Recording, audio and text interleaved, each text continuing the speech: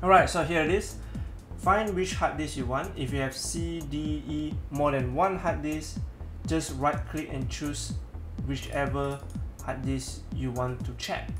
So I have C, so right click, properties. Then you can see here, general tools. Go to tools, you just click check. Then you press scan drive and it will start scanning your hard disk for error. If it detects nothing, you are able to move on or if you check something there's an error it will attempt to fix it. After it fix it will just restart the computer then it will fix it by itself right? If it is unable to fix it it will give an error and you have to replace your hard disk before it crashes all right second phase just go in here. I have downloaded this. This is CrystalDiskInfo 8 quite yeah that so you to see all of this.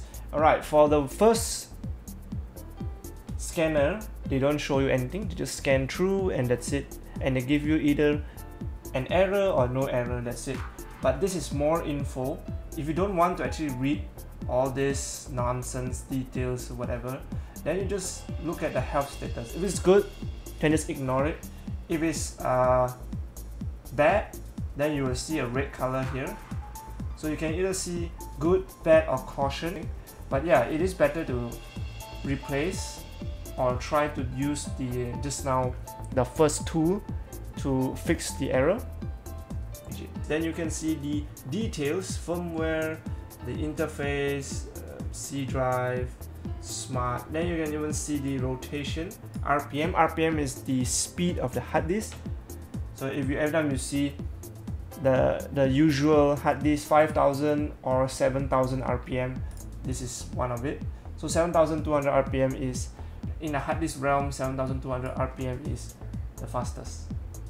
If you don't trust the scan right now because it's too fast you can just rescan it and you would just scan the whole hard disk again and then it's done. So yeah it's quite fast than uh, than using the Windows tool alright so these are the two tools that are the most commonly used and can be used for most of the hard disk SSD thank you all for watching. Famous cyber signing out. Click subscribe if you haven't. Click like. Go to the end of my video and click the playlist in the playlist there are all my videos all at the corner at the right side. So thank you all for watching